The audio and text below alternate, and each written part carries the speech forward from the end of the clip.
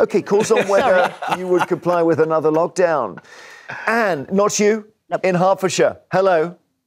Yeah, I suppose we'd have to, but I'd like to talk about the COVID inquiry itself. I think it's a massive, massive insult to everyone who died. Because of the language that's coming out. Yeah, I think it's a massive insult to people that died, and they should stop it now Oh, what? Because before you it know, gets worse. It's really upsetting to watch.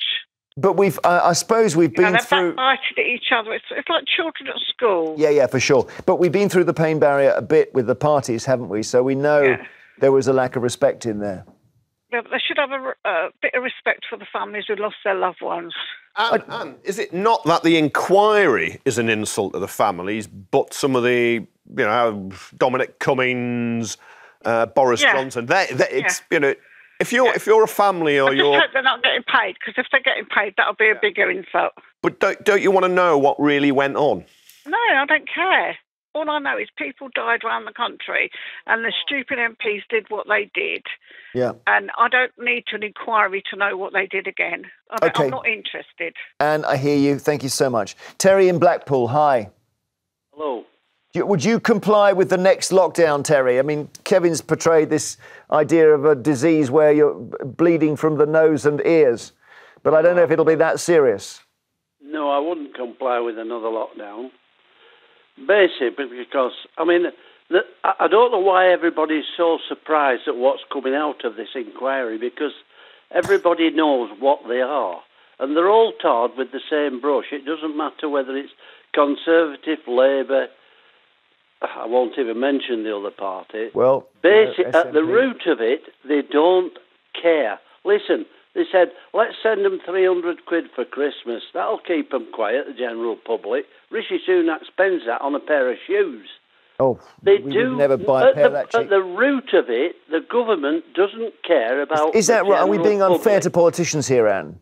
I think a little unfair, yes. And, and I think what we had and, and, and what accounts for the goings on in Downing Street, we had a very unexpected, extremely serious, challenging situation.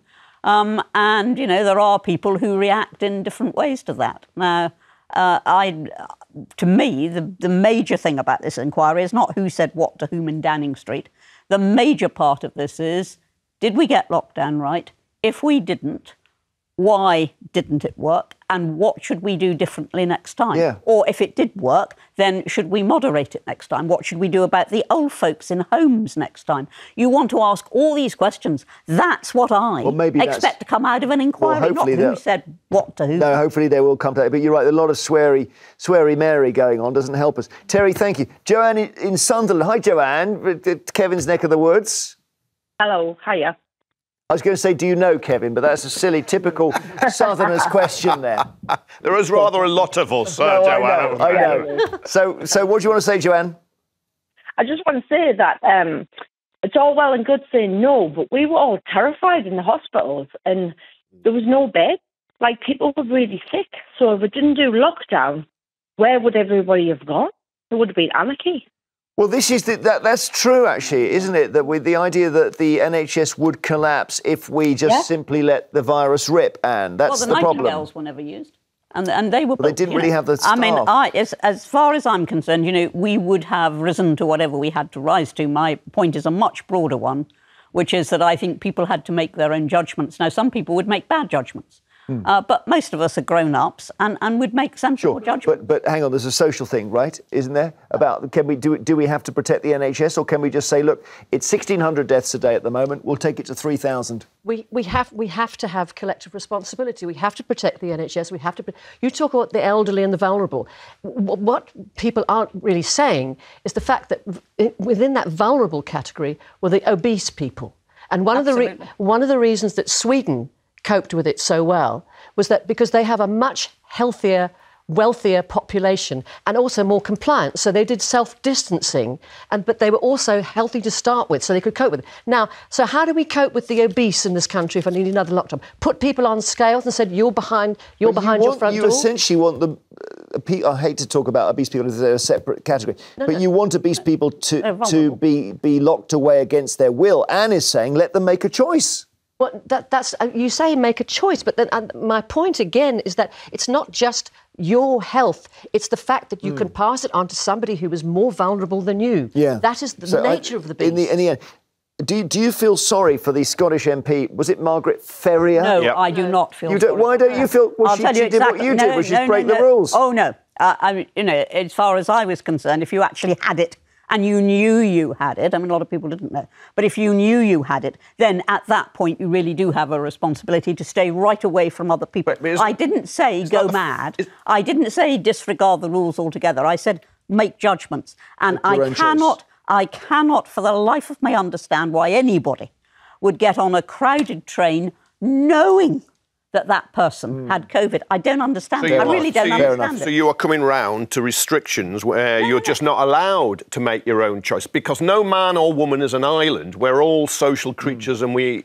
interact. It's why you have to have you have to have rules about how you drive. Otherwise, everyone would just be careering wherever they want. And if you've got an infectious disease, you need rules and regulations, which most people will obey, to stop them spreading it. So they might be all right themselves, but they can kill other people. But the point is that in Sweden, where they didn't have the restrictions, people did. But they may be more Yeah, just- sensible. They Can I may be more finish? sensible Can than I us. finish, Jeremy? No. Right, okay. Oh, sorry, no, just, just wait. Just let me take a call. No, you've spoken. No, come on. You've had a good shout. Um, Trevor in Tunbridge Wells. Hello. Good morning. Hi. I'm going to bring Ann back in soon, or she's. Oh, gonna don't worry. Let's hear from it. Trevor. Come on, Trevor. You, you said, what, would you obey the next lockdown? The fir- I would, yes, but I would look at it differently because the first question I would say is how many people's lives did the politicians save with lockdown? I wouldn't look at the number of people that died. If we didn't have a lockdown, how many more would have died? Well, look, I'm gonna give you a ballpark figure. have gone up to about. We, we lost 200,000 without any lockdown at all. I'm going to suggest we would have lost another 200,000. Now, the, the statisticians were saying you'd lose more, but they didn't factor in Ann's point, which is that we would all start taking defensive action for ourselves. Make judgments. So, Trevor, you know, you've got to hope you'd keep the number down just because people would have acted defensively. But if you're in uncharted waters, you have absolutely no idea what mm-hmm. you're dealing with. What do you do? Because I would put I would put all the journalists and all the media that have been very quick to criticize and bring down the politicians for handling it in the way they did, and put them in their place and see how they would handle it. Well, yeah, and a lot of the journalists call they, they, they act as if it is the cons- received wisdom now that lockdown should have been harder and earlier. Well, there is received wisdom that says that. There is also a very sizable group of people uh, who think the exact opposite and who look at places like Sweden. Um, and for example, I mean, I, I thought the politicians did go mad occasionally. I mean, the curfew, the curfew, which meant everybody came out onto the streets at the same time uh, when the curfew ended, uh, uh, and when it began, rather, and, and were there. Uh, you know, blowing COVID around the place. It was insane. Well, the it was mad- yeah, insane. the had maddest thing, teenagers yeah. running the country. You had a- an education secretary, Gavin Williams, who was obviously completely in. Yeah, but maybe that's who we've got now in, in, in terms of our politicians. We've lost your generation. Chris in Manchester, hi. Morning, folks. Would you Um, obey the next lockdown, Chris? That's the question. no, not at all. Um, can I can I just say a couple of things, and they're, they're more statements than rhetorical questions. Uh, um, yes. have you have you all seen the film Contagion? Well, that's the question. in Yeah. Um, well, just to say that was the trial run for what we went through. Okay.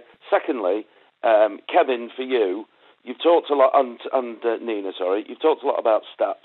There was a stat that GB News put out. Now, I know that that's not going to be a popular statement. It's not a good start. No. They're not. But, but, they put a stat out in um, 2022. 700,000 people died in the UK in 2021. Only, have a guess, how many died directly as a result of COVID? No underlying conditions. How many? Uh, t- oh, 10%. I don't actually know that. Yeah. 17,000. Oh, so much less. 2.5%. Okay. Well, And we locked the whole of the country. I nearly lost my business because of. Yeah, lockdown. no, I, I hear you. I hear, Nina, Five percent of the population died, and this is this is more than in France, than Italy. No, not than Italy. Italy was below us. Um, France, Spain, Germany. It, it goes in terms of people lost per percentage. It goes United States, Poland, Italy, then the UK. But yeah, but that might mean the lockdown was a waste of time. I mean, that's. Well, what, what- look, what you need with the inquiry is look, no, no two countries are the same. There'll be lessons to be learned. There'll be lessons to be avoided. I want the inquiry to look at it in a very Yeah, yeah. cold, calculating Yeah, way. And yeah, Come up, yeah. what works and mm. what Well, we'll doesn't. see- I, we'll that- s- I think that's so important. We'll see what Boris Johnson tired of all the says. They- they- stuff, they- but that is they- important. what Yeah. came out, they said if they'd shut, we'd shut our borders at the end of December 2019 and had a test and trace, the, the lockdowns would not have been necessary. Well, big thank you to Nina for coming and joining us on this discussion.